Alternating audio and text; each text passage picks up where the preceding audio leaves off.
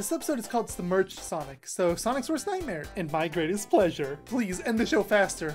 Ugh, we're not even halfway there yet. And welcome back to Statue Watch. It's a short one this time. There's only one statue, and we see it from a very far distance and only a very far distance. The statue appears to be levitating in midair. It's so far away and blurry that there's no facial features or anything at all. The only views I had to even compare to reasonably was 22-2 and 18-4, but even 18-4 had some details and wasn't far away. It's just a weird smear shot, so I don't know, the statue's weird. Back to the episode. We begin with Robotnik in a submarine.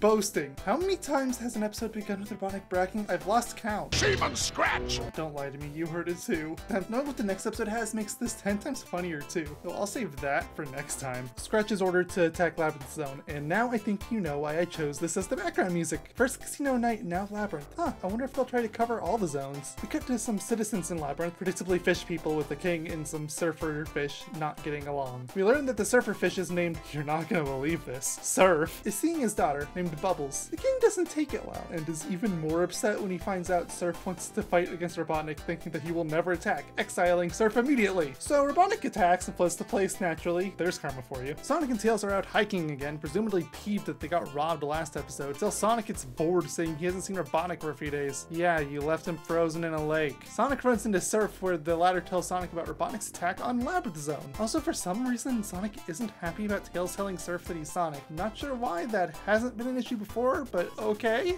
The three of them go to Labyrinth Zone via Surf submarine, which is just an elaborate bike. Some of Robotnik's guards, which were just some moto fish, though they seem to be a bit deadlier than usual, given spears and even homing rockets, show up, though they go down just as easy as all the others though. We cut to Robotnik. Not much happens here, though we do learn a couple things. One, Robotnik abducted Princess Bubbles in the first attack. Second, that he wants Labyrinth Zone captured, not destroyed, because he wants to claim the riches within. Robotnik makes his declaration to the king. Either hand over the kingdom, or his daughter will be killed. Though it's a kid show, so they dance around the second point a bit. That's very much implied. The king is prepared to hand over the kingdom too, which means he is absolutely not fit to be a king. But that's aside the point. Sonic and company arrive to talk him out of it, but the king first arrests them for being with Surf. Remember, he was exiled, so it does make sense. A bit silly now with his daughter gone and Robotnik attacking the city, but bygones. Oh hey, look, bingo time! We actually haven't had any of the characters trapped for a while, unless you count Tails' brainwashing or Sonic being tied up. Okay, fine, I let it slip for a few episodes, sue me. Sonic once again throws backhanded insults at Surf, and I'm just confused. Sonic is pretty similar to him personality-wise, it doesn't line up. He still agrees to help him though, so I don't know. Sonic's character's all over the place in the show. They break out with Sonic pushing Surf around make it look like he's leading the escape, because someone that is exiled leading a jailbreak is a great look, Sonic. Real nice of you. There's five minutes left until Robotnik's deadline is up, but he's bored, so he decides to attack anyway. Unfortunately, this means telling Scratch to fire. The joke goes exactly where you think it does. Robotnik discovers Sonic is around, so he begins to attack wildly. It doesn't go well for him.